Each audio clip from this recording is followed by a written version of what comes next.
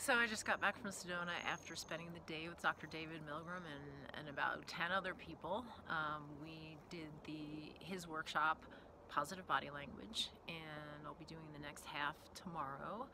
Um, oh my God, I recommend this course to anyone, not just energy healers, not just body workers, but anyone.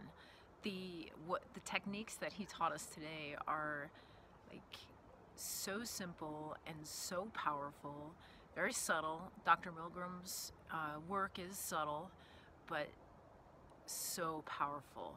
Um, and if you know me, I'm really into subtle energy and, uh, oh my God, just really practical for what's going on in the world today. We need this work, and I would recommend this class to anyone. So I'll keep you posted about how tomorrow goes. Peace.